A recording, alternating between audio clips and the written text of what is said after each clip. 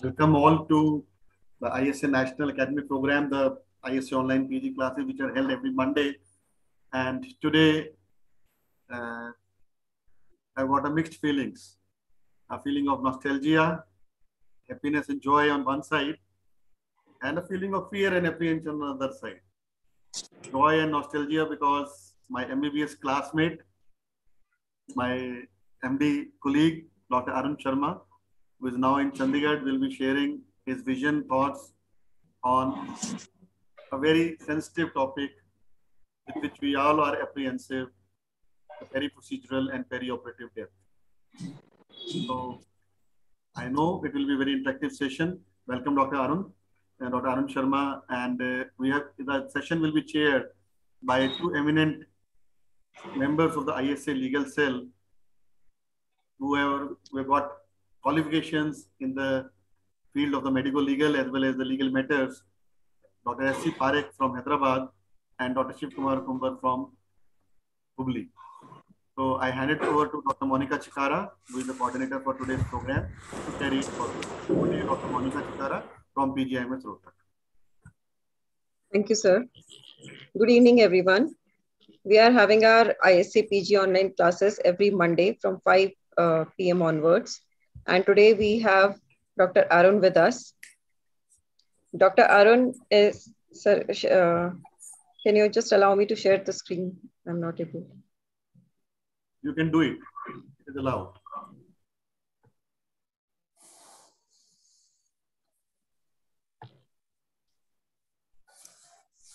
Thank you, sir.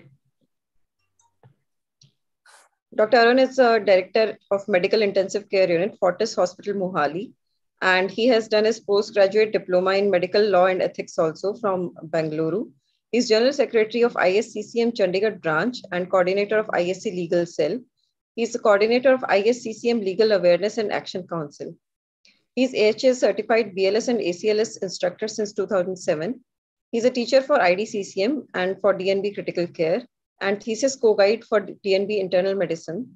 He's a guest faculty in many conferences. Several training, uh, he uh, is a part of several training programs, critical care initiatives, and social campaigns. He has more, more than 18 publications in index journals and three chapters in book. He's a life member of ISA, IACTA, and ISCCM. His areas of special interest are transesophageal echocardiography, promoting and ensuring safe ICU care, improving communication skills, ensuring and promoting judicious documentation and record keeping, palliation and end of life care, legal aspects of medicine. Welcome, sir during this the course of this uh, class everyone will be muted. If you have any questions you can just type it in the chat box and they'll be taken at the end of the class.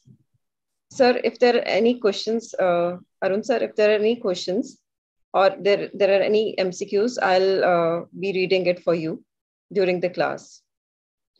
Over to you arun sir. You can please unmute yourself. So I have Thank you. I haven't seen any issues. I wish we could have uh, had an interactive session in the form of a physical meeting, but then this is a humble beginning. And uh, I wish uh, everyone a very good evening. And uh, it's a matter of honor and privilege for me to be doing my presentation on this platform and uh, in front of eminent chairpersons, Dr. Shiva and Dr. Parekh. And uh, I extend my sincere appreciation to Indian Society of Anesthesia, Dr. Naveen Malhotra, who's a dear friend. And uh, I believe uh, all of us agree to the fact that kudos to his efforts. Indian Society of Anesthesia is at a completely different level now. He's given me a liberty to uh, talk for about 45 minutes. I have about 45 slides, which I've divided into three parts. And uh, I hope I'll be able to do justice to this uh, session. And thank you so much. I, I begin with my presentation now. Yeah, please, sir. Go ahead. Yeah. Thank you, sir. Thank you. Uh, I start with a very basic uh, case scenario. This is uh, uh, my colleagues who are from a who have some legal background know that this is actually a real case, but then I've slightly modified it for the purpose of teaching. So uh, we discuss about a 26 year old male. He's an ASA1 patient He's admitted for septoplasty under monitored anesthesia care. He develops intraoperative cardiac arrest. And subsequently, uh, since the surgery was being done in a nursing home, is shifted to a postgraduate teaching hospital in an ambulance, and he's declared dead in few hours after admission to the ICU. All these sequence of events, they happen between six hours. The surgery was taken up about 6.30 in the morning, and the patient is declared dead at about 2.30 in the evening. If I look at this situation, I would say uh, death in the operating theater or anywhere while undergoing a procedure is a nightmare for the anesthesiologist. In fact, it's a stressful event and it puts at stake the reputation of an anesthesiologist, which has been earned after so many years of clean, clear practice. When I decided to do this presentation, I talked to one of my surgical colleagues that would he be interested in uh, attending such a presentation? He simply was, he gave me a very simple answer. He says, deaths don't occur in the OT nowadays days. I don't think we need this presentation. But then I completely understand that anesthesia has become safe from the practice that we probably did about three days ago. When I did my uh, when I did my post graduation, I think we had limited access to uh, anesthesia workstations we had uh, very few uh, pulse oximeters. ETCO2 was something which I probably saw when I did my postgraduate registrarship at PGI Chandigarh. But yes, undoubtedly, anesthesia is one of the safest branches in the clinical practice today. And it will be thanks to the safer drug, better monitoring, and the better quality equipments that we have. But the complications still occur. As per the available uh, literature, the death in the OT per se related to anesthesia would be rated at somewhere around 0.3 to 0.8 patients per 1 lakh anesthesia related procedures. And death per se in the OT due to multiple other factors would be about 1 to 30 patients again per lakh uh, procedures. And most of these happen in the emergency surgeries. Nearly 80% of these deaths would occur during uh, the high risk procedures. Well, while the, G, hello. Ji ji projecting your slides hello? Not projecting your slides uh, it's not visible. Oh you're not even started sharing. Just that's what i was wondering. Just oh. Oh. is it visible now? Yeah now it is visible. This is the first slide which is visible. So is this visible now? Yeah this is visible so this was the case scenario that I, am sorry, uh, this was the case scenario that I talked about. And uh, the, the risk of anesthesia that I was talking about per se related to general aesthetic is somewhere around 0.3 to 0.8 per lakh anesthetics and intraoperative death. Otherwise is about 1 to 30 patients per lakh anesthetics. And most of these would happen in high risk surgeries. What has changed is with the anesthesia becoming safer more and more safer i think our dear surgical colleagues they are taking more and more heroic procedures in the OTs. And this simply means that we as an anesthetist have to be prepared for all the eventualities that would happen during these procedures. On top of this, I think uh, general public is still not aware about the intricacies of anesthesia. While they would would accept some kind of limitations in the surgical procedure, they would want 100% from the from the anesthetic and the anesthesia personals. While I was uh, taking this, uh, preparing this presentation, I came across this, uh, this uh, quote by Professor Aitkenhead, which talks about the fact that the focus of training in anesthesia has always been concerned about avoidance of disasters and rather than the management of aftermath. So while these complications are minimal, rare, remote, but then they can occur, the complications can occur. And we as an anesthetics, when we come across these complications, we are when if you are not prepared about these these disasters we may not be prepared about it and this we may land up into a soup. So the purpose of my presentation is to talk about the second part of it. Just in case this these these complications or death occurs in the ot how should we manage the scenario? So let us though this is not the the the the, the reason we've uh, we've had this meeting but yes there could be several factors which can be responsible for a death of a patient in the operation theater or outside the operation theater especially if uh, if a person is uh, monitored anesthesia care let's say in a bronchoscopy suit or in an mri suit or in an endoscopy suit. So these these complications can occur anywhere. What we need to understand is uh, that for for uh, colleagues who with the legal aspect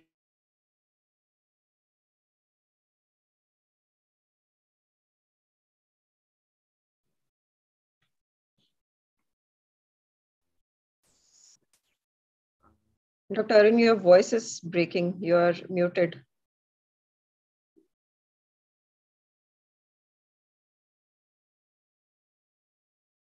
Uh, Dr. Arun, you have to again start sharing your screen and you have to unmute yourself.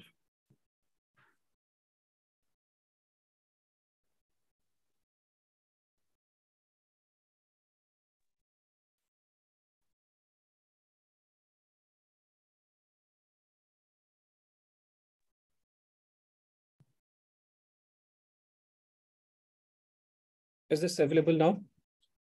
Yes, sir.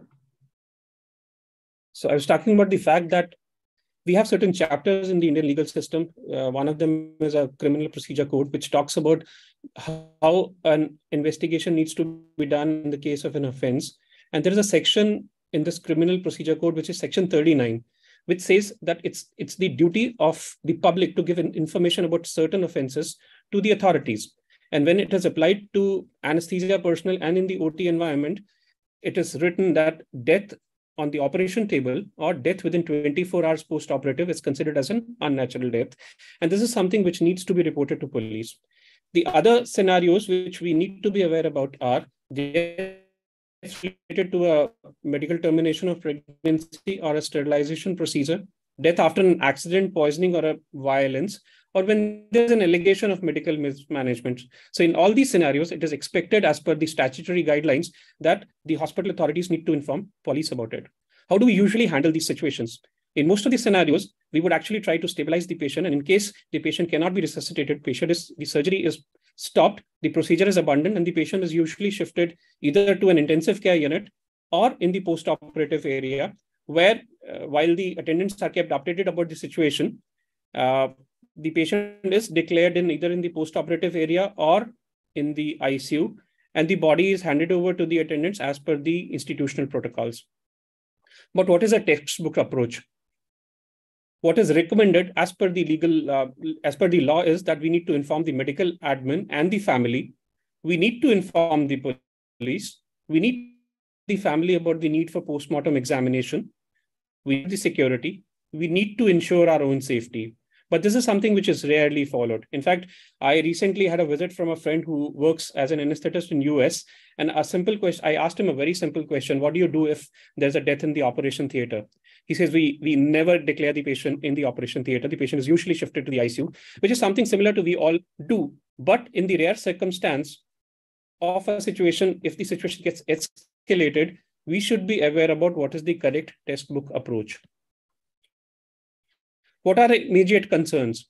While the anesthesiologist in the OT would be grappling with resuscitation, he also has a dilemma whether the patient needs to be declared in the OT or in the ICU. The next most important thing would be breaking bad news and handling the relatives. Equally important thing would be managing documentation, equipments, and the OT staff, offering post-mortem examination, a fear of a lurking fear of assault and mob violence, handling police inquiry, and a threat of FIR and arrest. And these are the situations that I would be discussing through my presentation. The late concerns would be a specter of litigations. The, the, the opposing party or the aggrieved party can go to the professional regulatory bodies like State Medical Council and a National Medical Council. They can file a case in the consumer court or a civil court for compensation. They can, in fact, also file a criminal suit, especially in the cases of loss of life. Let's look at all these situations one by one. As far as the patient is concerned, I think OT deaths, as we said, are rare, but but they do happen. They can happen. And the, the, the usual response is to abandon the procedure and the dilemma which we discussed about declaring the death in the OT post-operative area wherein ICU facilities are not available or shifting to the patient to the ICU if available.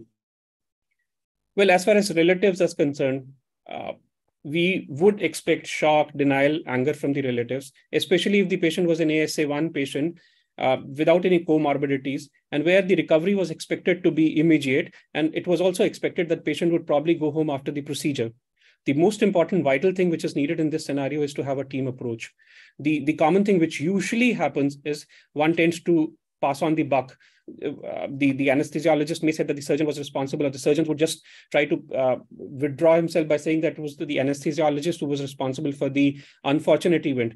But what is most important and what is recommended is that we need to have a team approach. We should not start a blame game.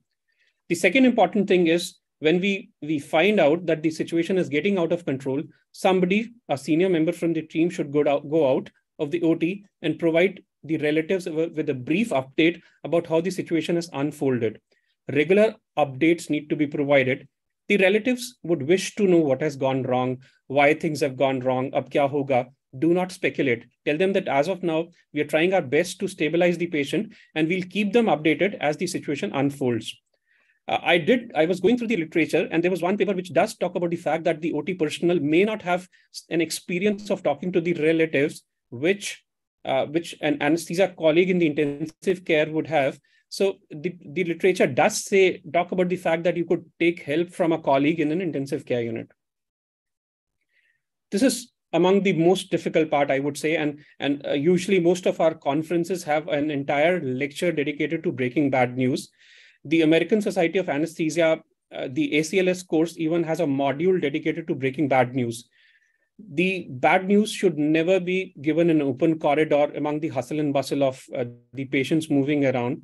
It is recommended that the bad news should only be given in a in a calm, closed environment. Uh, one should uh, try to give them a clear update. One should not use medical jargon. Uh, if you apologize by saying to the family that I'm sorry about how the things have unfolded, that's not an admission of blame it's nothing wrong about it.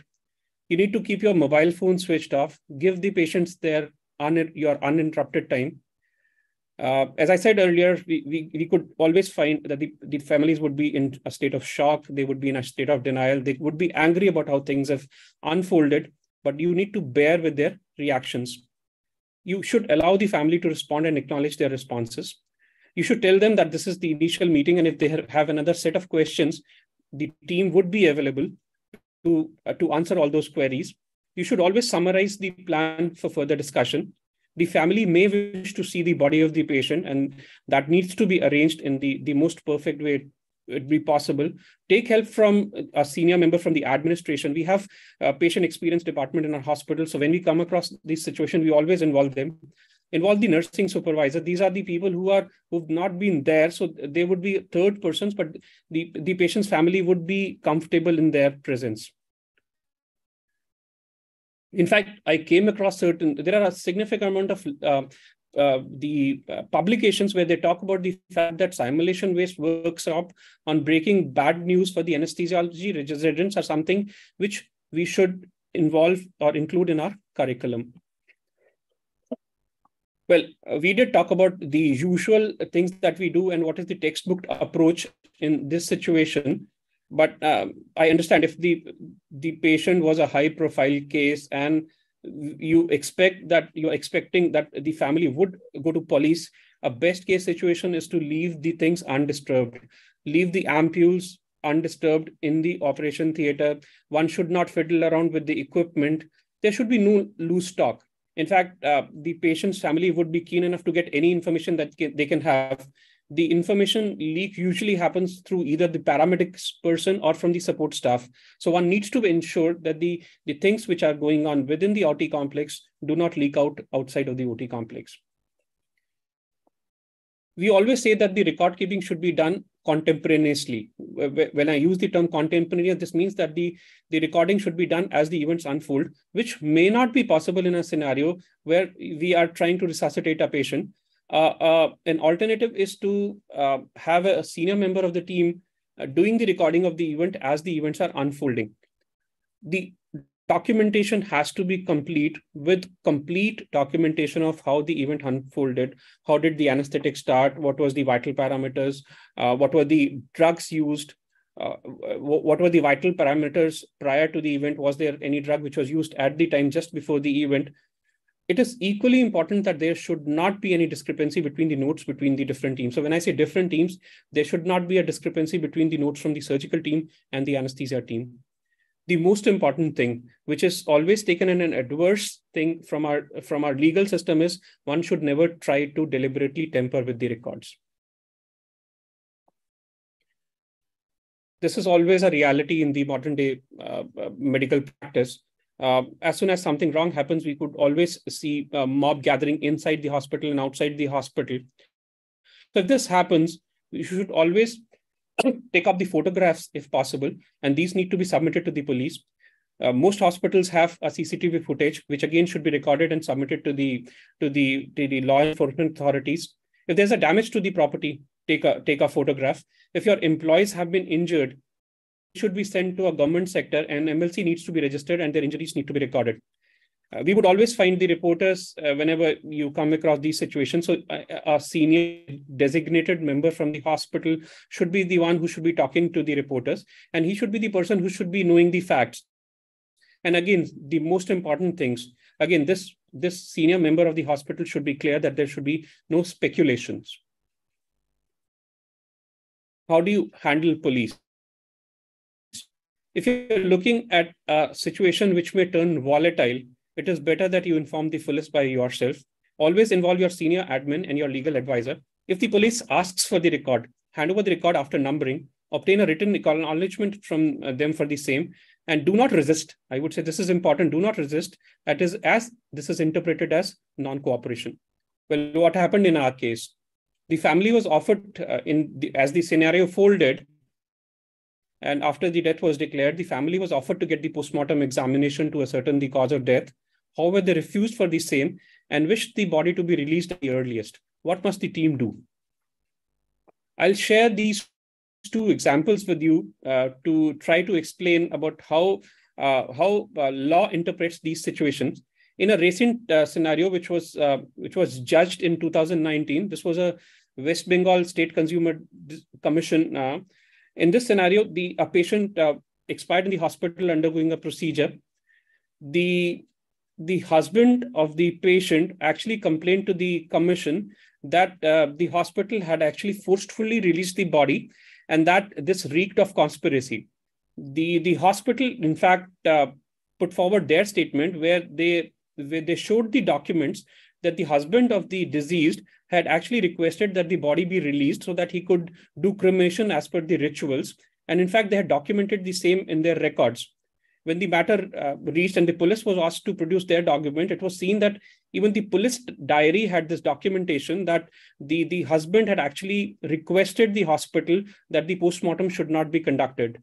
In fact, this documentation by the hospital and the documentation in the police diary uh, tilted the case in the favor of the hospital and the doctors. I would uh, talk to you about another case which was uh, which was decided very recent in August 2022. Uh, this was a young patient, uh, a gynecologist herself, who'd been detected with a, a some chromosomal abnormality in the in the uh, in the preterm uh, phase, and uh, as per the doctors, the the patient and their husband uh, requested that they would not be ready to continue with the pregnancy since the patient was then was an asthmatic, and this was cause a lot of physical and mental trauma to her. What happened was unfortunate. The MTP was done but uh, she developed a retained placenta. And while the patient was taken for the removal of placenta, she had an episode of severe bronchospasm and could not be resuscitated. The, the case went against the doctors for three reasons. The, the judge, the judiciary uh, documented that there was improper documentation of why an MTP was done at 26 weeks, which was a clear violation of the MTP Act. The judiciary also judged that this was an unnatural death and police was not informed and postmortem was not done. They were very clear that the denial of postmortem by the attendants is not an acceptable defense.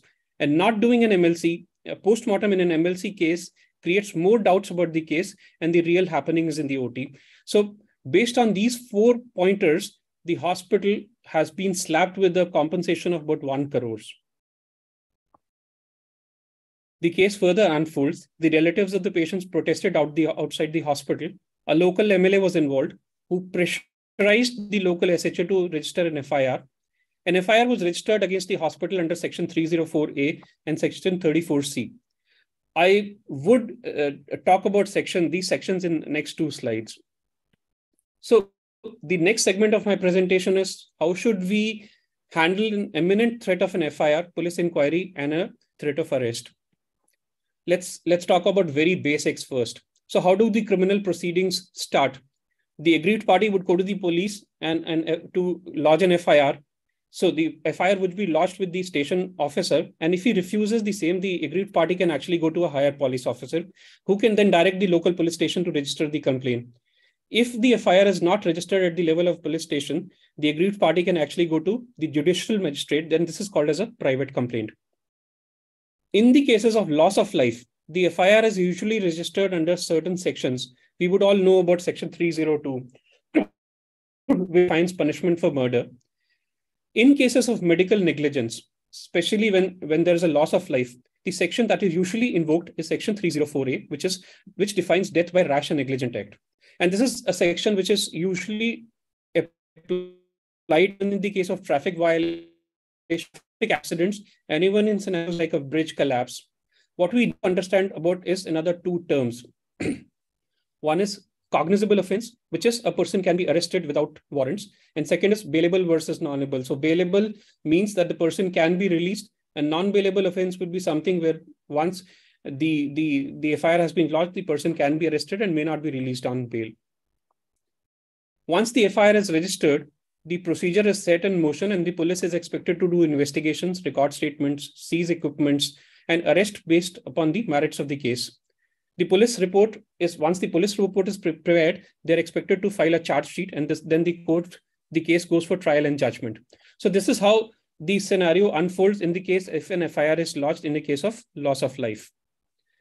Under normal circumstances, if an FIR is lodged under section 308, 304A, which is causing death of a person by causing rash and negligent act, the person the uh, warrants may be issued, but the, but this is a bailable offense.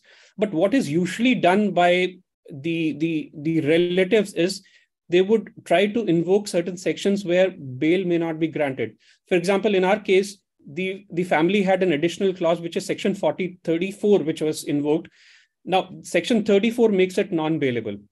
I hope you would all remember what happened in the case of uh, in recently in Dausa, Rajasthan, where uh, a patient had developed a postpartum hemorrhage and a case of uh, 304 was applied against the gynecologist. In fact, fearful of getting arrested, she committed suicide. I think it becomes important that we need to be aware about what needs to be done if such a scenario unfolds. In fact, the, for the next 10 slides, what I would be talking to you about the safeguards, the statutory safeguards which have been provided to us doctors, especially to the doctors, if such a situation occurs. So let's look at the legal safeguards against a police action which have been provided by our judiciary to the medical professions.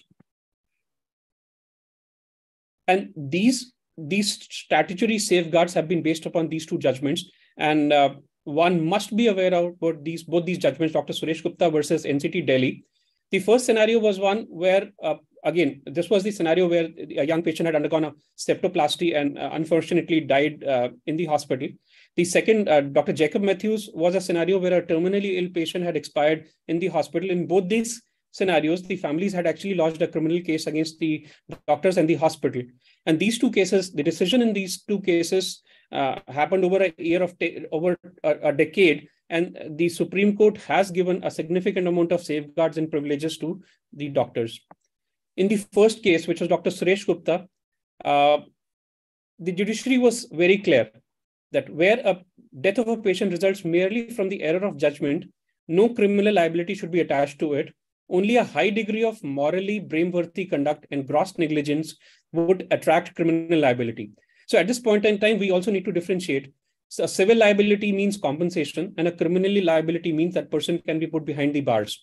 So the judiciary is very clear. If the doctors need to be tried for criminal liability, the the the conduct has to be a very high degree of morally blameworthy conduct, and and they've defined it as a gross lack of competence or inaction to the patient's safety. Let's look at some of the guidelines which have been given as per the Jacob Matthews case. The judiciary has been very clear that whenever medical professions are to be tried in the case of criminal negligence, they need to be treated with a difference. And the very basic that judiciary gives is that the both the police officer and a judicial magistrate in the case of a private complaint they do not have sufficient knowledge about the matters of the medical science and it will be difficult for them to adjudge that whether a, a higher degree of crime was committed and whether the doctor was actually negligent within the domains of a criminal law. So the judiciary talks about a very simple thing. It says that if an action is to be initiated against a medical professional in cases of criminal negligence, alleged criminal negligence, we should always seek an expert opinion. And what are the recommendations? If the case starts off with a police complaint, it is recommended and I would say recommended is not the right word. It is mandatory that the investigating officer must obtain an independent opinion from a competent medical person who's qualified with the same branch and who's expected to give impartial and unbiased opinion. Now, this is something which would be difficult in our scenario. So this simply means that the police cannot actually initiate the complaint before taking an opinion from a person who's qualified in the same branch who's who's well qualified. So this means that we doctors would have sim, simply a good amount of time to actually prepare the case, and the police has restrictions in initiating the action. Similarly, if there is a private complaint, the guidelines are very simple and similar. It is expected that the complainant has to seek opinion from a qualified medical person in the same branch who can competitively give opinion whether the case, the merits of the case allow a case to be tried under criminal, criminal medical negligence. As far as the Jacob Matthews uh, decision was concerned, it was suggested, but then with, there have been certain other decisions where now it has become mandatory that the this expert opinion should be sought even in cases of private complaints. The biggest fear as a medical profession would be uh, if there is an FIR and the risk of arrest. So there's been a judgment, which is uh, Lalita Kumari versus government of UP. Uh, as far as this judgment is concerned, it says if there is any cognizable offense, if registration of an FIR is mandatory. But when, when dealing with the medical offenses, it is very clear that a preliminary inquiry is required before the FIR gets registered. So this is a, this is a huge defense which is available to us medical prof- medical professionals if we come across this situation. So let's look at a situation that an FIR does get registered. Please do not panic. Consult your lawyer. Lawyer. Cooperate with them and do not share resistance. Do not show resistance. If the police asks for a statement, give statement. Involve your senior admin or a legal person. Let them search the premises let them collect evidences, always prepare a list that's been handed over and take an anticipatory bail. Again, with regards to the arresting of doctor, the judiciary, as per the Jacob Matthews judgment, is very clear that the doctor who's been accused of a rash and negligent act, now at this point we know that, so there's been an FIR which has been registered under section 304A, may not be arrested in a routine manner. The judgment is very clear that the doctors with an alleged criminal negligence will not be arrested in a routine manner unless and until is it, it is inevitable or the investigating officer feels that the doctors would not make himself available or would not cooperate.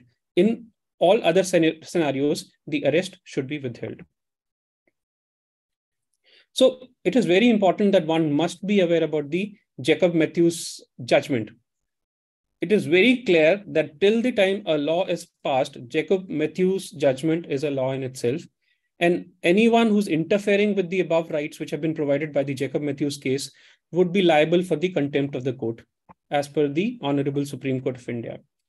We all need to be very clear that there are certain very basic things. Every citizen of this country is bound to follow orders of Supreme Court. It is recommended that you should keep a copy of this judgment in your hospital do not hesitate to produce it before the police if they act illegally.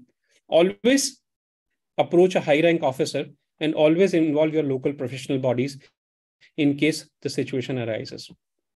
What are the other safeguards which have been provided in the Indian Penal Code if there's a death? So, what is important is every happens in the hospital or every death which happens in the operation theater does not mean that the person would be liable for a criminal negligence.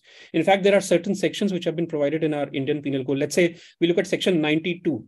There's a death of the person, but section says if the act was done in good faith for the benefit of person, even without the consent, the person is not liable.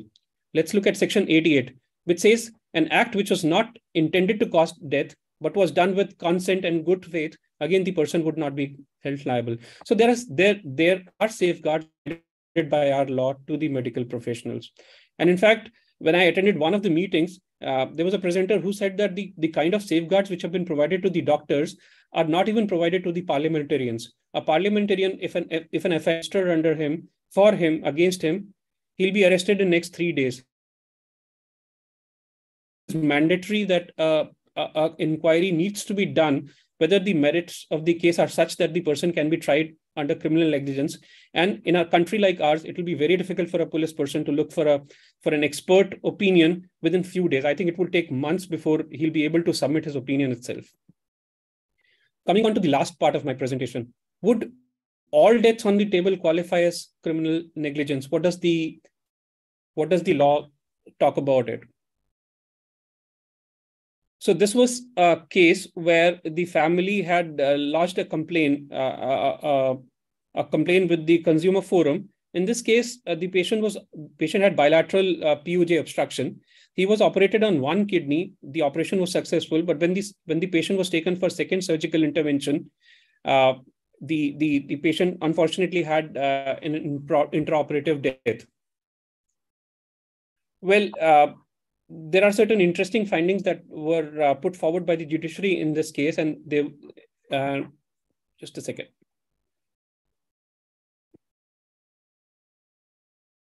The, the judiciary was very clear that in every case where the treatment is not successful or the patient dies during surgery, it cannot be automatically assumed that the medical professional was neg negligent. To indicate negligence, there should be enough material available on board or or else appropriate evidence should be tendered. In another case, this was a case where a, a patient died after a renal transplant. And again, uh, the, the complaint was did not go in favor of the uh, aggrieved party. It was decided in the favor of the doctors. And uh, the, the judges were clear that the doctors are expected to take reasonable care, but no professional can assure that the patient would come home overcoming the crisis. Thus, every death of a patient cannot be considered to be medical negligence. Another case uh, where uh, the judiciary said that the death of the table is not sufficient to prove rash or negligent act against the accused. So what if finally a litigation is served? Do not panic. That's the first and foremost thing that we all need to do. And do not just go walking around the hospital telling your colleagues that a case has been slapped on you uh, get in touch with your legal advisor. If you have an indemnity insurance, you should actually uh, pass them a copy of that uh, complaint so that they are aware that a case has been uh, put against you. Uh, make a copy of all the records. So if you have a, say, a physical file, all the uh, pages should be copied into in the form of a digital format. One should try to give reply parawise to the complaint that has been put forward uh, involve your lawyer lawyer but we need to understand that a lawyer may not be aware about the medical part of the things. You need to sit with him.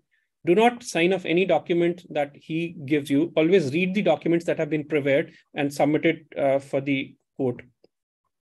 While we've discussed about the patient about the about the operation theater personnel we've talked about fir what is most important is to take care of this person it's a stressful situation. We did talk about it, and um, a situation where the, the reputation of the anesthesiologist is, is at stake.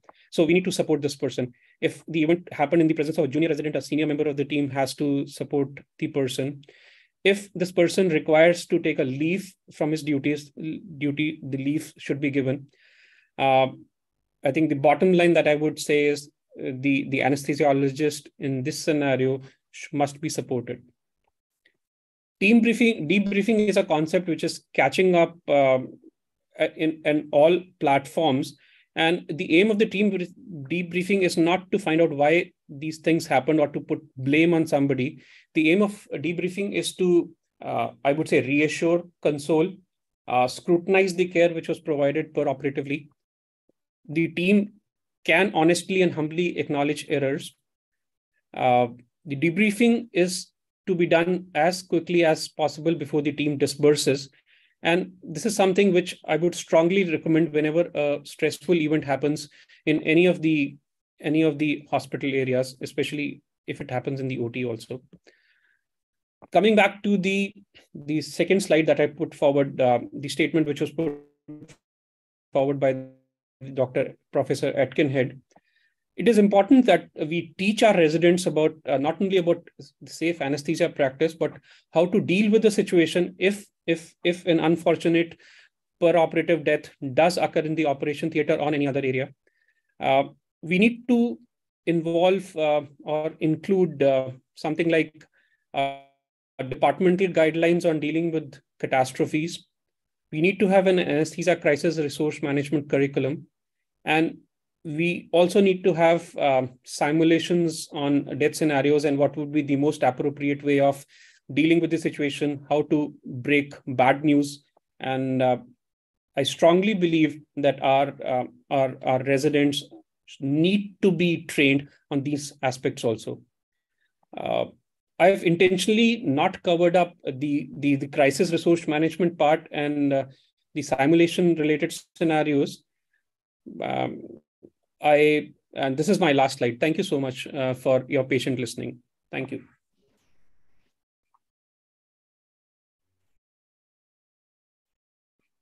Uh, thank you, uh, Dr. Arun uh, Sharma, for uh, the nice presentation. And now I'll invite uh, Dr. S.C. Parekh, who is a past Vice President of ISA National and President of ISA Family Benevolent Fund, to please come and moderate the discussions. And I'll also invite Dr. Shiv Kumar, who is a very, very senior anesthesiologist from Shiv Kumar from anesthesiologist from uh, Hubli, Dharwad, and uh, he's also a medical legal expert with qualifications in the legal field, and he's also on the medical board of uh, Indian Medical uh, Association. So uh, a quick word from Dr. Um, Parekh sir, and then uh, Dr. Shiv Kumar please. And then I'll allow all the participants, they can unmute themselves and express their uh, carry forward the discussions. And uh, I'll also request Dr. Venkat Giri, I present by ISN National, uh, to please pitch in also. So over to you, Dr. Parekh, sir. There is an opportunity for now everybody to unmute themselves. Everybody can Am. I audible? Please go ahead. Am I audible? There is some disturbance in your audio, sir. Yes, Yeah. sir. Please, please go ahead. No, one thing is whenever we discuss these things, it is easily said than done because when real scenario occurs, it is really very difficult to handle. Yeah. We can talk about it, we can suggest so many things, but when it really happens, it's uh, really very difficult to handle the situation and face the relatives and the attendants. And it makes a lot of difference when pre-operative assessment is made. At that time, it is expected and discussed with the relatives is a totally different scenario. But if it totally unexpected and it comes there, then it is very difficult. So this is one thing we must always give some time to discuss with the relatives in the pre-operative assessment. That is very important unfortunately, more, many of us don't get that much time to spend with them. We are so busy with the theater or other things that we don't get to sit there with the attendant for about 10 minutes and discuss everything. If that could be done, I think the problem will be sorted out more than 90% in advance only. Because I strictly, strongly believe that problem is not because of adverse outcome. Problem is because we have not prepared the people to accept that adverse outcome. So it is their mental makeup. If in advance they are told that these things can happen and be prepared for that, then that problem will not. But they are not mentally prepared and suddenly they come to know that the patient is no more there, then naturally the anger and other things happen. So that is one thing. Then uh, this political intervention, we can hardly do anything because politicians are very strong fellows and they are influential on police also. And maybe it's very difficult. It is only theoretically we can say, but uh, once uh, the politician is involved, most of the time his intention is that problem should not be solved. So that he is always involved and he can manipulate the thing. That is always there. So he will try his best that the problem continues. There is a lot of disturbance. Can you ask? Uh, Hello. There is a lot of background noise uh, from your end. Ah, background. I am not able to listen to what is being told. Just, just come forward, sir. Just come the mobile. So, I think you can take more questions from audience. Yes, sure, than sure, sure. chairperson now. Over to you, Dr. Shivkumar. Um, Over to you, sir, Dr. Kumbar.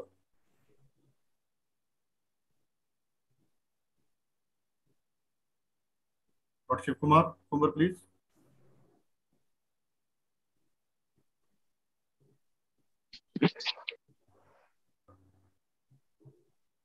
Dr. Monica, you can uh, in the meantime take up the questions in the chat box, and Yes.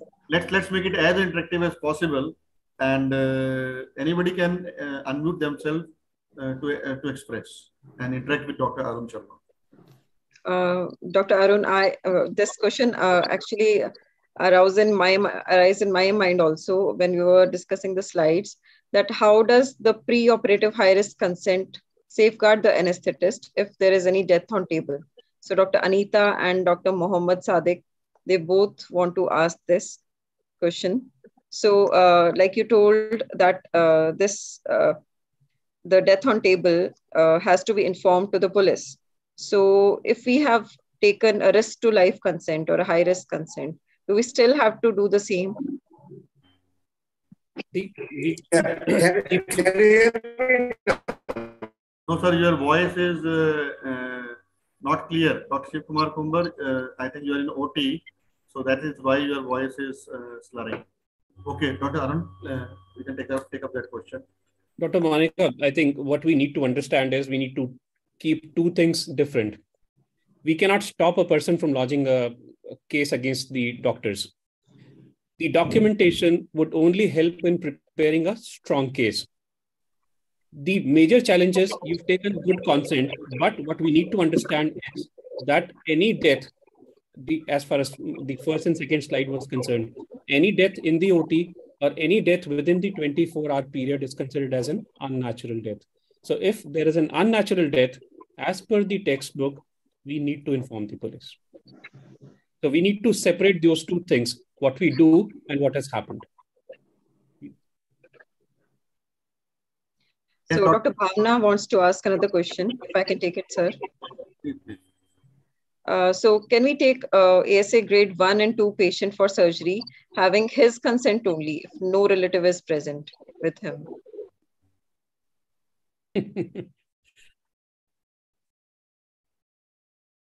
Uh, one is this question would be unrelated to the presentation that we do today.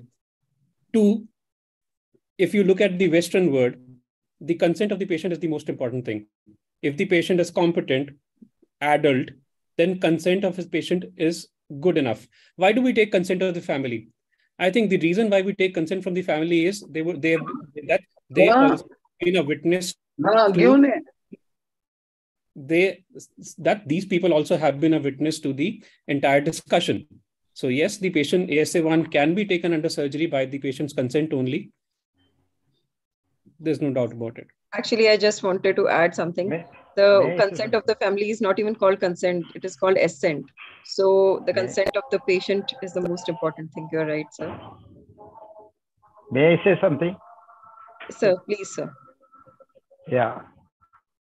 The thing is, even in ASA 1 and 2 cases, problems can come up. So I don't advise that we take them for surgery without consent, not only consent, even the presence of the attendant. Because if something goes wrong, whom do you inform if they are not there? So we don't take any general anesthesia cases unless an attendant is there waiting outside. And his consent is taken for one more reason, which I tell you, is that if the patient dies, the problem will be created by the attendant because patient is no more. So if attendant has signed that consent, he will think twice because he is part of having signed it. So he will think twice before creating any problem. And even if he creates problem, at least he cannot deny, deny the consent that he has agreed and he was told about all these things. So that is one practical reason why we must insist on everything that a attendant also signs the consent. I, I agree with you, sir. I agree. Uh, coming to the FIR, uh, I had uh, one uh, this thing, uh, anesthetist, uh, maybe dentist, uh, who has registered a FIR. Then I challenged it in the High Court of uh, Dharwad, Karnataka, stating that unless there is a, a expert opinion, how can they register FIR? And the FIR has been quashed, sir. Okay. And many times what happens is untable death may not be subjected to the uh, post-mortem. So if you know the cause of death, if the relative is satisfied, so there is no need to make it a MLC. And uh, if they don't accept your cause of death, so the best thing is to inform the police and make it a MLC. Many times, you know that they are going to be expected by the relatives, but uh, some angle, you know that probably they are troublesome, okay, are educated, probably by looking at their uh, communication, how they behave, intra post-operative, when you try to communicate them. So if you could spell it, even if they accept the cause of death, best is to inform the police, sir.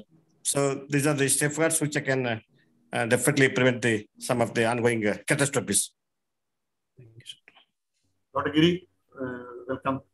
Thank you. It is not the consent bystander is relating is the witness for this. It is signature and all. That is what is more important. So, Yeah. yeah, the relative signs and he agrees that yes, he has signed, he is identifies. Otherwise, who is identifying and the patient?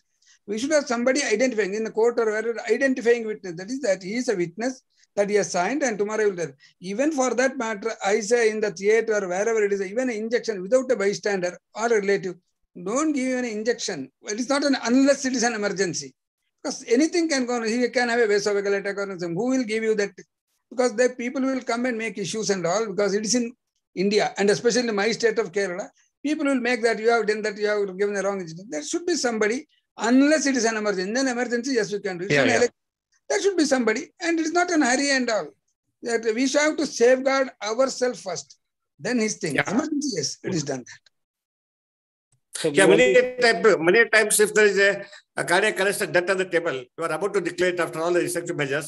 The question arises whether you want to declare it on the table, or theater, or else you want to shift it to the ICU and declare it.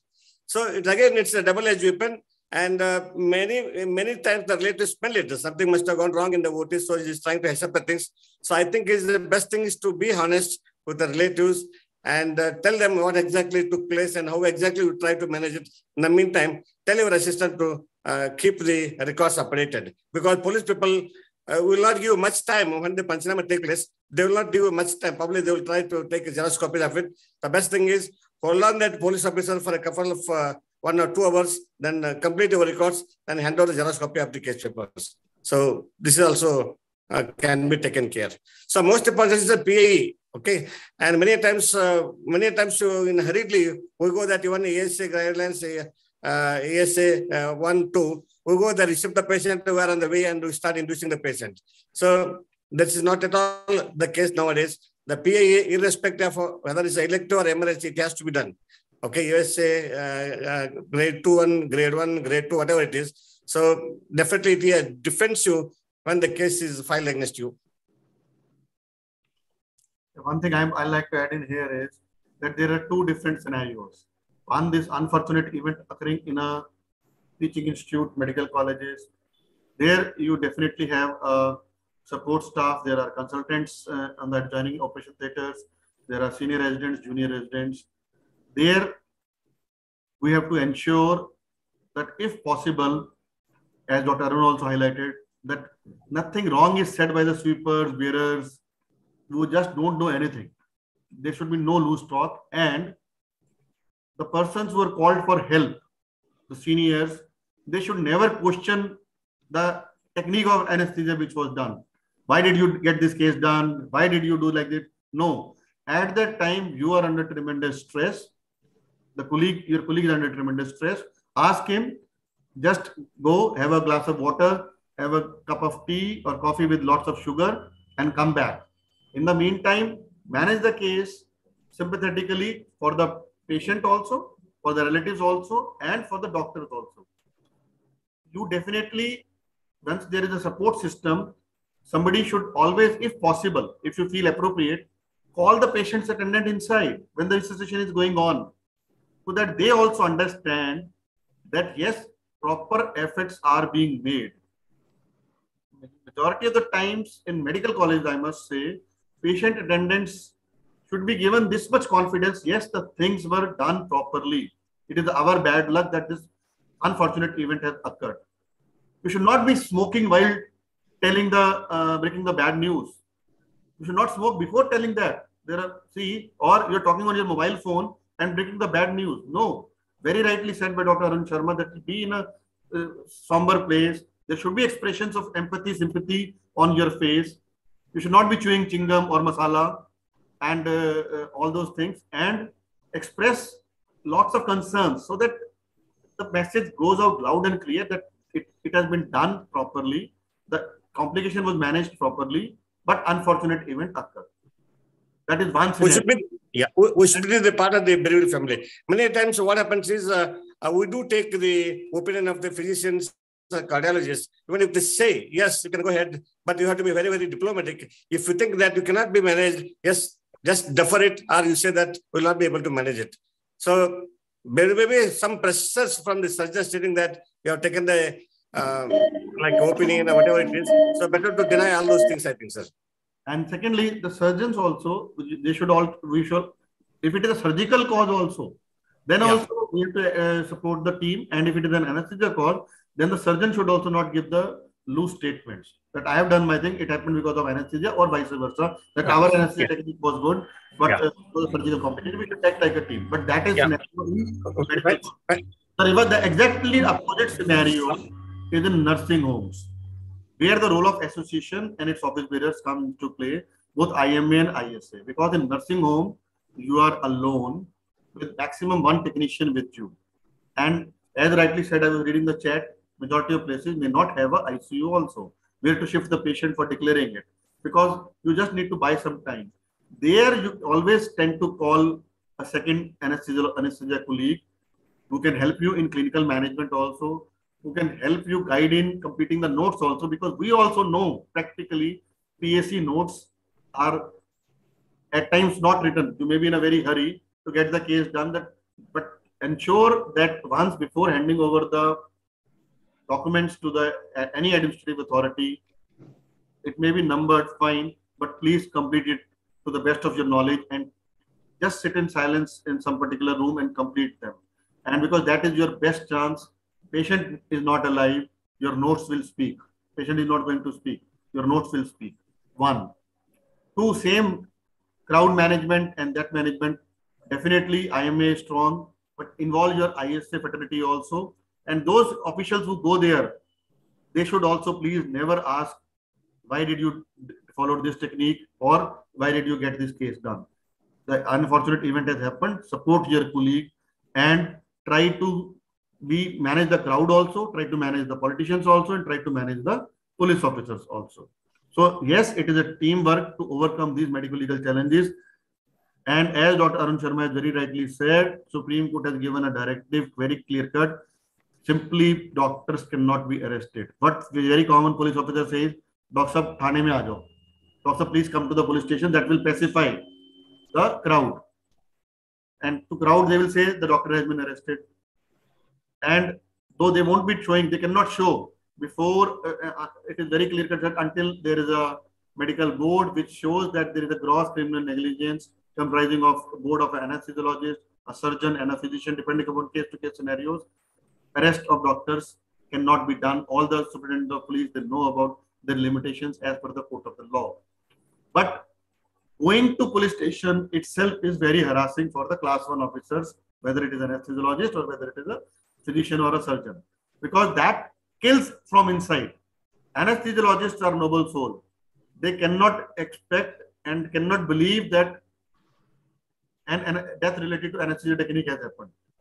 It is very difficult for them to accept that.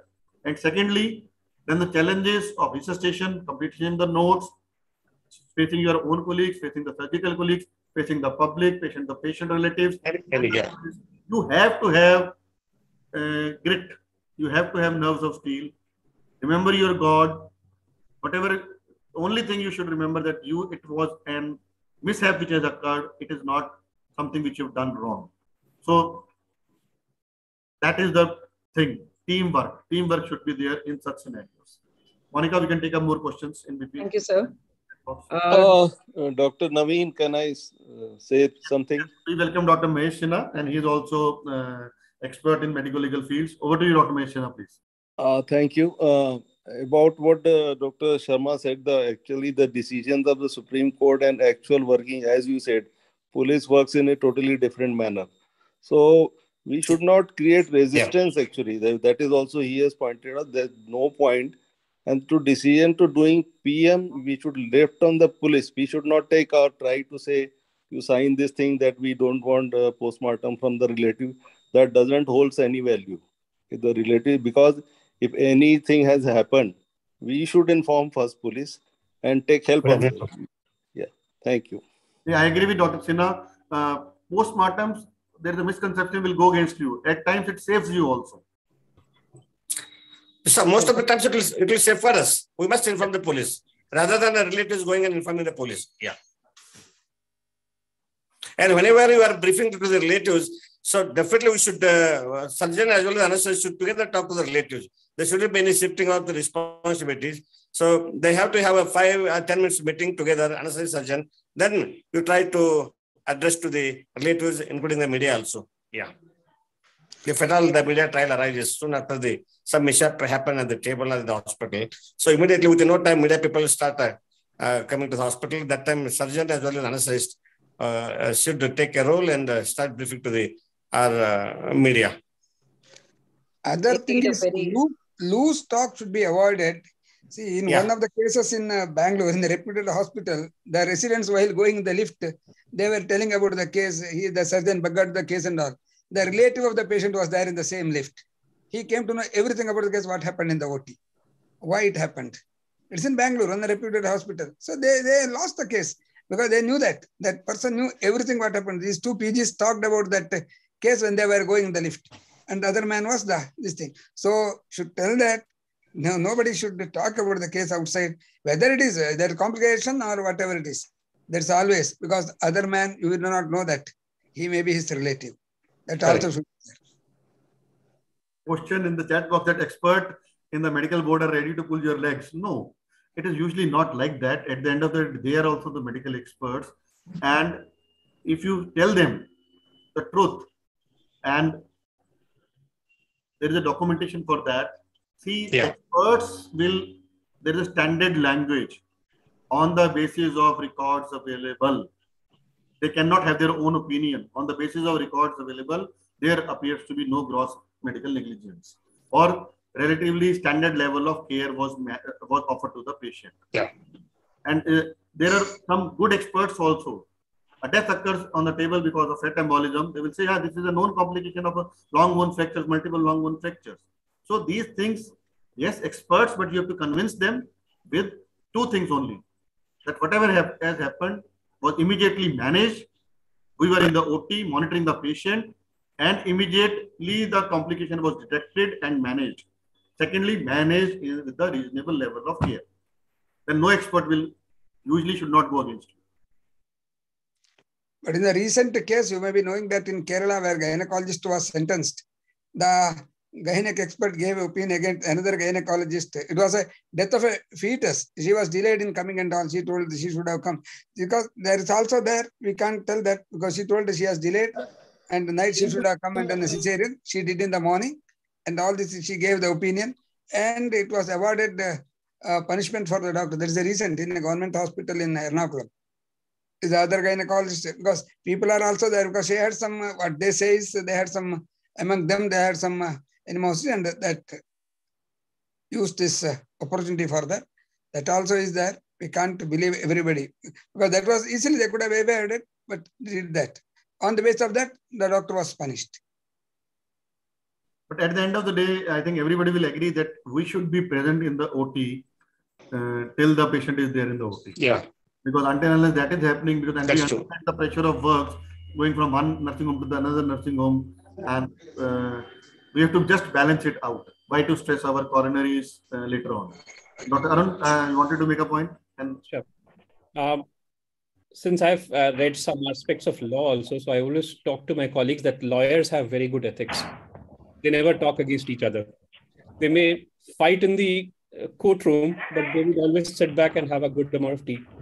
Uh, a decision in the High Court may be challenged in the Supreme Court, but they would never say bad words about the previous decisions. We as a medical professions always have an have a habit of uh, saying wrong about our colleagues. This has to change. I do tell my residents that the death in the OT usually in the current situation in the modern day anesthesia practice happens for two reasons. One, there was some blunder, or there was some kind of an idiosyncratic reaction which was unavoidable. Most most patients would be successfully resuscitated in the OT. So one has to and and and, and litigations usually happen for two reasons. And the cases usually goes against the doctors for two reasons. One is bad communication and bad documentation. If you're good at these two things there's a good enough possibility that the cases would be decided in your favor. We were talking about consents. I would say uh, we are always expected to take a consent of a witness. I would not agree more that the best witness is the relative of the patient there's no doubt about it. thank you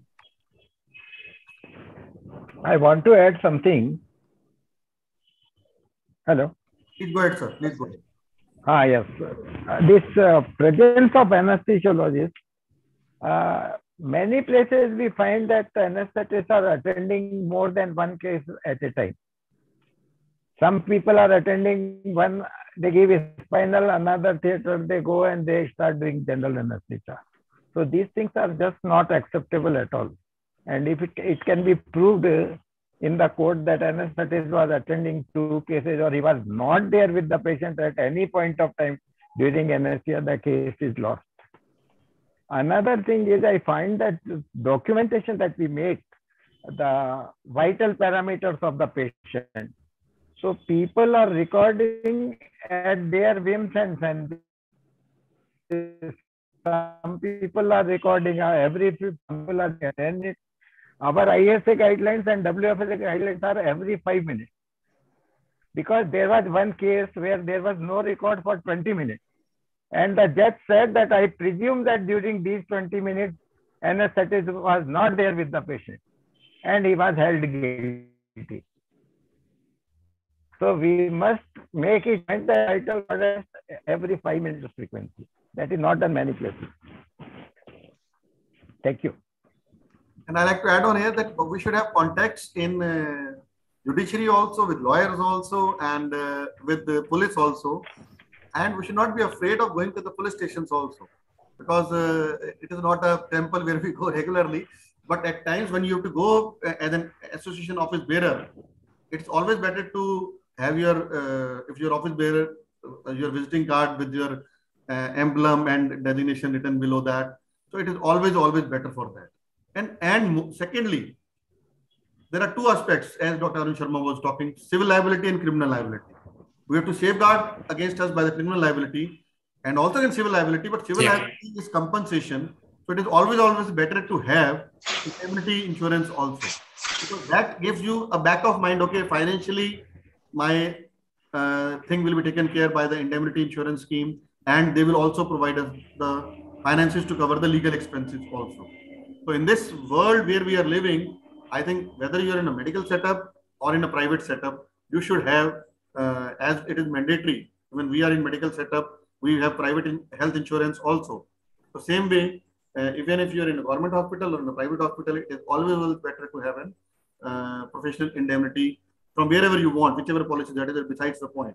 But that gives you insurance is a safety thing. Dr. Monica, any more questions in the chat box? So, Dr. Deepak wants to ask Dr. Arun, uh, what should be done when death on table happens in a setup where there is no ICU? I mean, how to proceed about that? Where the patient should be declared in that scenario? do I assume that this this setup would not have a post-operative area also? What should I assume? So I think if the if the setup has a post-operative area, at least shift the patient from the OT to the post-operative area. As Dr. Naveen said, you can actually show them the resuscitation attempts, tell them, give them updates, and that would be the most important uh, way we can handle things. If the post-operative area is not there, then in that case, uh, can take the relatives to the. I hope Dr. Deepa got the answer. Next question is by Dr. Chaya. If death occurs after shifting to ICU within a few hours uh, of surgery, I guess, after shifting, then who will who is responsible? I think you have covered this in your talk also. Just to reiterate again, death within 24 hours is an unnatural death. And uh, who's responsible is probably difficult to ascertain. It, will be the complaints which will be put up by the aggrieved family and then the things will be tried. I think Dr. Chaya Shrivanshi is online also. She can interact directly also. Madam, please go ahead. Be much better. Sure. Thank you. Actually, we are better that uh, because in uh, Western countries they uh, take any complication up to 30 days into account, particularly replacement surgeries and all that although not related to anesthesia, but surgical procedures, they may relate it. Hello, good evening, sir. Good evening. Good evening, madam. Please go ahead. Hello. Yeah, please go ahead. Please go ahead, madam. Yes, sir. But uh, if the yes, but the sir, the cause is if not the anesthesia cause, but if the cause is surgical after shifting the patient in ICU after few hours, suppose bleeding or uh, any problem from the ICU side or from surgical side, then still he will be responsible for the Now, I think the most important thing that we talked about was that we all work as a team in the scenario an adverse event has happened. So, if even if the death occurs in the ICU, it is a culmination of events which has happened few hours ago, and one would need to understand that this patient would be would have been managed by the same anesthesia team as the follow-up team. Who a similar team would be working in the OT and in the in the post-operative ICU. So we cannot run away from the responsibility in trying to pass on the blame. We need to manage the patient. We need to keep our documentation right. We need to communicate with the family. I did have a question once where uh, there was an orthopedician who said that uh, once the patient is shifted from the OT to the ICU with some complication, then he would not sign on the death certificate because the death has happened in the ICU. I think that is something which this, these these things need to be discouraged. And I can relate or connect with this more because I work in the ICU, and we all need to understand that the the uh, the blame would not be passed on to one single person; it will be passed on to the team. So we all need to work together in in, in whatever we do with the patient.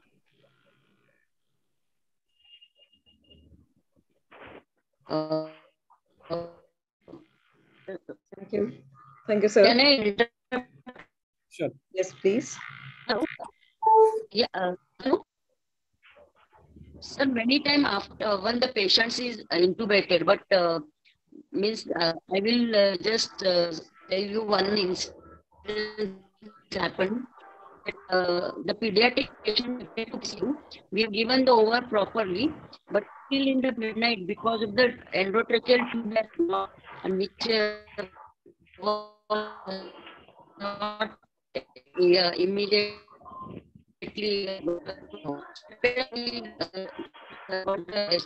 so then uh, we not uh, tell us also the uh, uh, on pediatric ICU.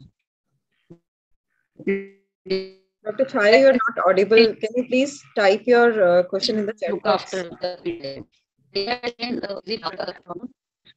Your voice is breaking, Dr. Okay, Chaya. okay. Okay, I will type. Yeah, I'll take up your question. Yes. Uh, I would like to mention one case. uh, when Supreme Court has given a decision that uh, a nursing home should not case a uh, uh, case which we cannot handle. Uh, like they said, if they didn't have the ICU, why you have taken the uh, serious patient or higher risk patient in the? So this should be also taken care by the uh, Uh, particularly practicing in the private sector in the nursing homes. You no, sir. Yeah, it was true also, but uh, the recent judgment has come. Yeah, recently there is a judgment also.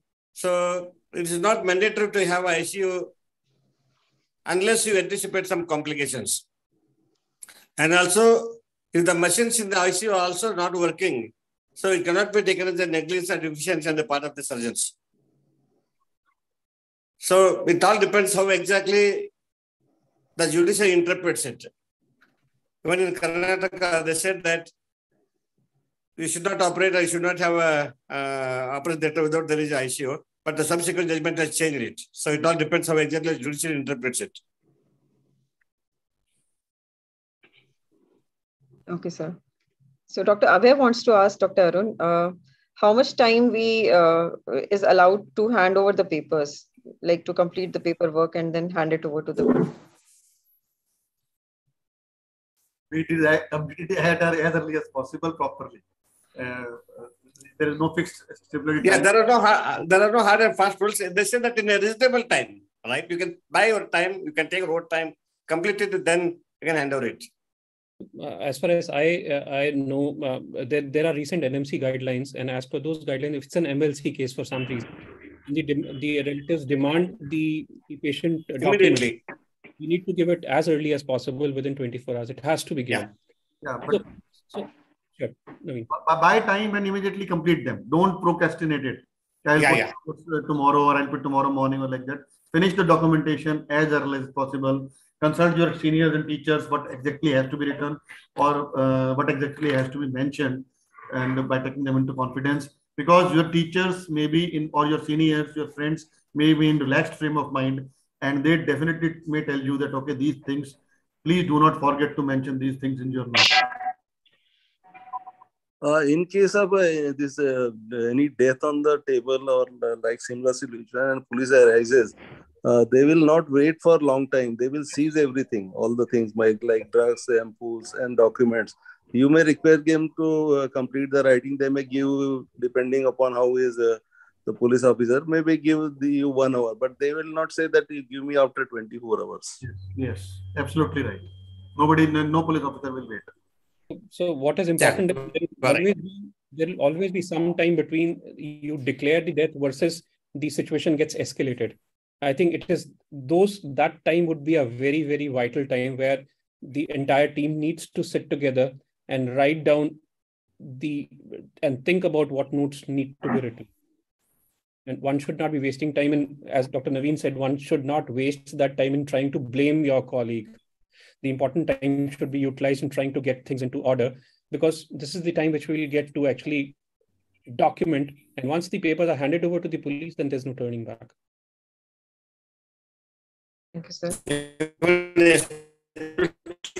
Youngsters should uh, minimize smart electronic gadgets in the uh, mobile gadgets and all in the open theater as much as possible.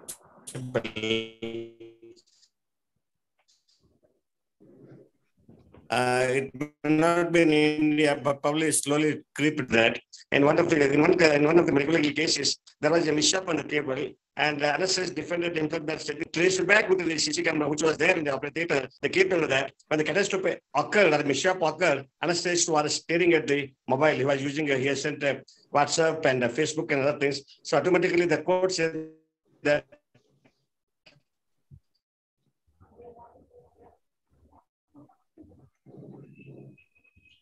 I think sir we lost the network. What point? When you are staring at a mobile, it means that you are not staring at the uh, monitors. So there was a negligence of the smartphone.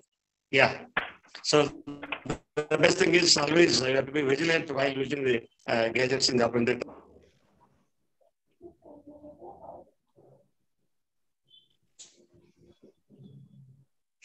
Monica, next question, please. Dr. Deepak wants to ask, uh, as a freshly passed out, out anesthetist, what all backup uh, should uh, he has to have, like uh, indemnity insurance, and what are the other options which he should have as a practicing anesthesiologist? Dr. Naveen, you will help me with this answer. See, as, as, as an uh, freshly passed out anesthesiologist, uh, it is always, always better that you're sound in your clinical as well as documentation skills. If you're into private practice, do follow the guidelines of ISA Private Practitioners Forum, which are there on ISA website of record keeping and documentation. As is important as remuneration, you should uh, more equally important is your own safety. So follow good clinical practice and have uh, a professional indemnity also. Yeah. Indemnity nowadays worth anything less than one CR is, uh, I think I can say peanuts. So have Yeah. a professional indemnity worth at least one CR in current scenarios and which usually costs somewhere around 9,000 rupees per year. Uh, it's nothing. We, but I personally see my Innova insurance is costing me 45 to 50,000 rupees per year. So why not uh, my professional indemnity? I'm getting in 10,000 rupees for one CR.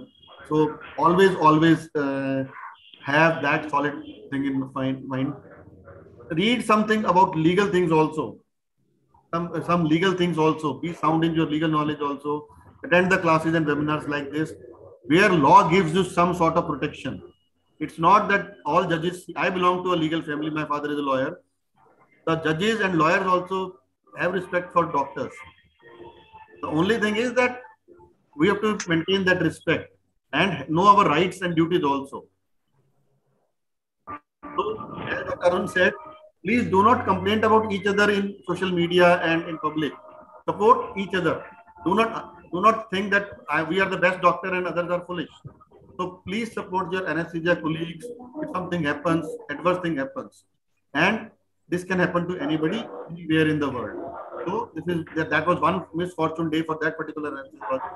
Support your colleague. Support your colleague. Pray that this thing never happens to anybody. All our patients are safe, and we are we administer safe, good quality anesthesia to everyone. That is the motto of our platinum jubilee year also. Naveen, Yes. uh, one, one doubt.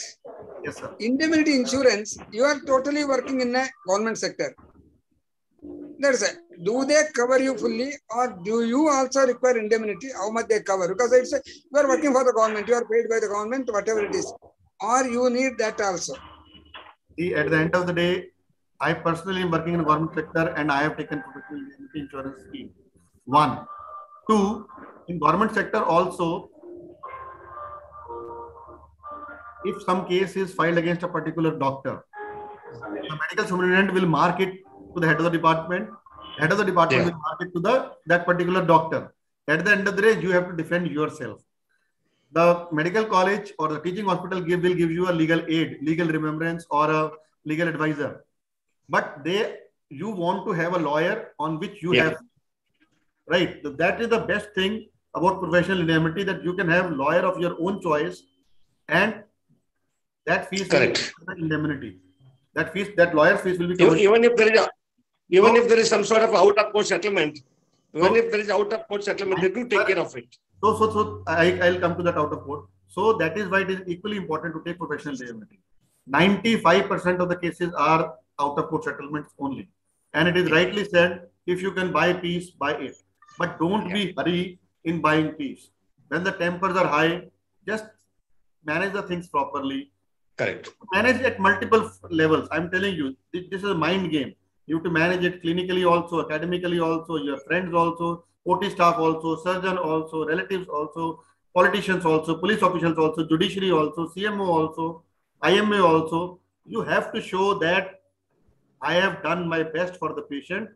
This adverse event has occurred. I have to manage that also. Simple thing. So, yes, it is a nightmare, but have faith on God. This too shall pass away. This too shall pass away. These bad days shall pass away. And if you are right, if your intent was right, you will be exonerated. And all the forces in this world will work in your favor that you are exonerated from a thing which you have never done anything wrong about. Back to Monica. Thank you, sir. So I'll uh, complete the question asked by Dr. Chaya. Uh, so she's talking about one pediatric patient shifted to a pediatric ICU with endotracheal tube. After a few hours, the tube got blocked and not noticed by pediatric doctor, and uh, the patient was lost. What should be done in that case?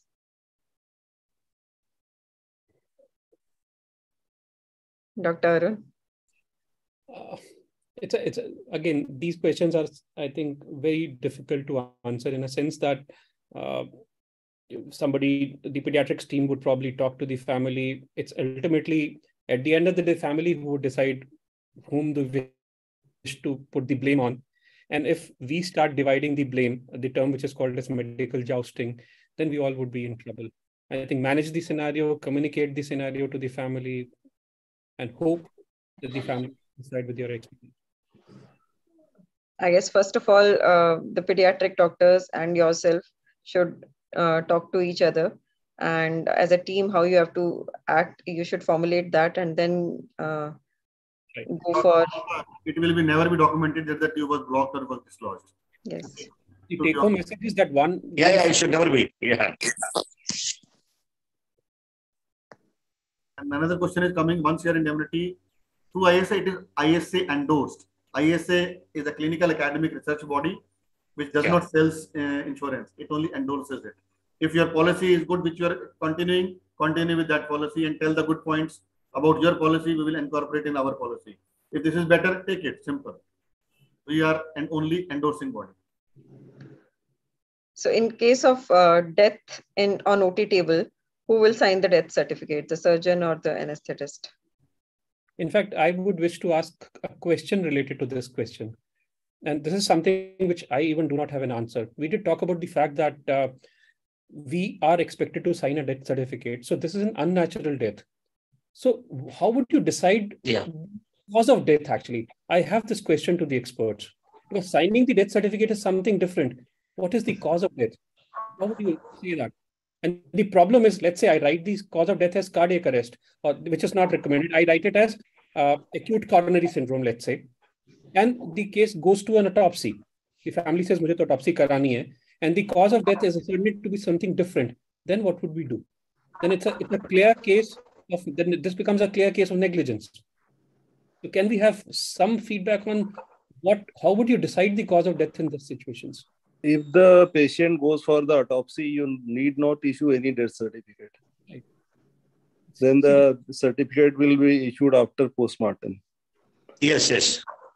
The problem is that a situation where the patient see most often we we did talk about the fact that most often we declare the patient in the ICU and the body is handed over to the family. In about I think seven out of ten cases, unless until, until the family creates a problem, the body would be handed over the family without a post-mortem examination. And in that case, when the body is being handed, it is also sure that the medical team would have written something as a cause of death. So the challenge for, for, actually death in ICU and death in OT, uh, I think is a slightly different thing. Uh, in OT, it is a sort of acute situation, while most of the cases in ICU, it is a sustained chronic situation. Patient may be for many days there there may be a lot of interaction between the family and other and there's a format a standard format of giving the uh, cause of death certificate actually what we say death certificate is a cause of death in particular format. Like you said we don't write now cardiac pulmonary arrest and not that. A b and c what is the primary cause secondary and tertiary cause? So then you put on like that. What is the primary cause and what is the underlying cause? They have two columns immediate cause and all. You write cardiorespiratory arrest. Other one pending uh, postmortem report or chemical analysis, we write that. When we give that in the government sector, we write that cardiorespiratory arrest or this thing. Second then column, we leave blank or write there pending PM report or chemical analysis report. Even That's what been done. Do like that. No, no, cardiorespiratory yeah. arrest, I think it should not be written. Now, now it is. Yeah. Nowadays, it, it, it is read that it has changed. Uh, not recently, it has been that. Cardiac is a mode of death. It's a mode of death. The second column you write pending analysis or pending this report, investigation report. That is the thing because when they want immediately, sometimes they want that for taking the body or uh, this thing, they want that when they are taking the body. Do like there are even the PM also report. We do not write that because uh, I write that uh, a final opinion pending chemical analysis report or this thing. That is what we write.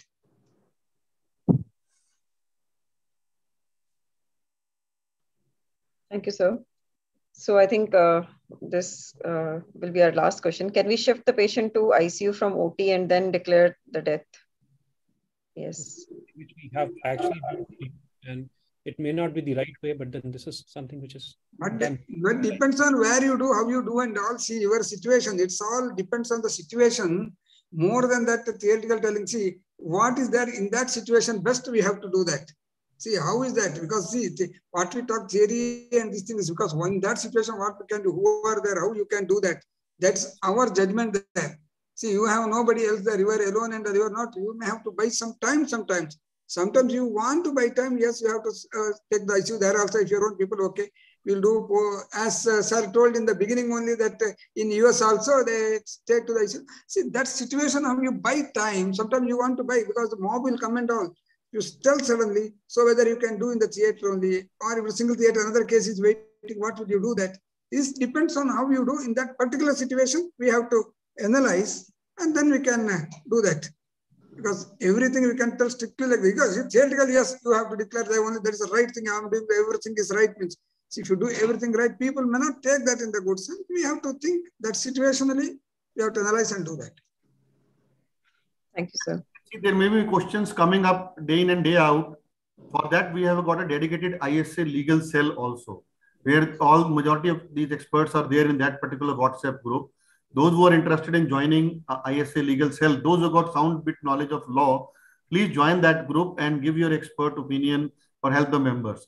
See, and I won't talk about the members, but Dr. Giri will agree to me. We have been there helping our colleagues in all parts of the of, of, of India, whether it is the central India or the southern India or the northern India, when they come up with medical legal uh, cases. Recently, we had one. I can say in the vividly remember in last six months or so, more than 10 cases have come to us as ISA National. And we also give our uh, members repose faith in us. They send their papers, documentation. We go through them. Uh, the legal panel also studies that and gives assistance to them also, both in two fields. One is in the clinical aspect, and secondly, they, they get uh, reassured also. So those who are interested in joining, uh, I was reading something chat box they can personally contact me on my number or the office number. Uh, we will add you in that particular group 9091 515151. I repeat 90 91 51 51 51. I am repeating it 90 91 51 51 51 9091 515151. And we are there as a body at the national body also. We, we support whether it is uh, there have been instances of sudden arrest by the police uh, or the doctors we support our doctors or the termination of their licenses or any other things which come out in, in their way. The only thing is that we try to help our members, no fault finding. This particular mishap has occurred. It should not have occur, occur in future with anyone. With this intention only, uh, we had this particular class. And I'm really thankful to Dr. Arun Sharma for uh, coming up with an emotional and uh, uh fact-based uh, presentation. We have been discussing this, this since this very long, and we have been we wanted to have a physical one. COVID came, and then the virtual things became the things. So thank you, Arun. I repeat, Arun is my both MBBS and MD classmate, and he has got interest in uh, legal matters. And we look forward to more interaction on this subject matter with you uh, in near future also. Thank you, Dr. Arun. And uh, next Monday, uh, before our national conference starts, we'll be having another uh, interesting session from a new a part of the world, uh, which where we will be exploring for the first time class from Leh, Ladakh, the newly created union territory. So Dr. Morup will be talking about the challenges of the high altitude and, and how to do surgery there and even the laparoscopic procedures. So uh, please do join and motivate our friends from uh, Leh Ladakh. And next week we'll be interacting same time, uh, Monday, 5 to 6.30.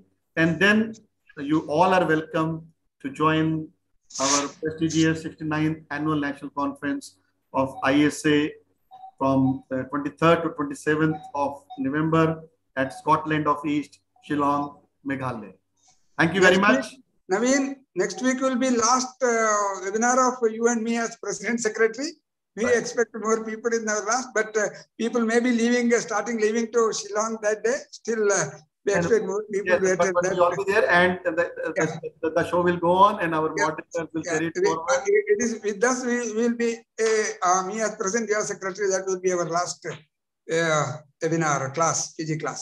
But, but things will go on. This is a commitment to you. These classes will go on. Thank you very much. Long live ISA. Jai Hind. Thank you.